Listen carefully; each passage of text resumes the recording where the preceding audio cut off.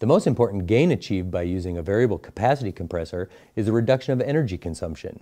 It does this by running at various speeds based on consumer usage.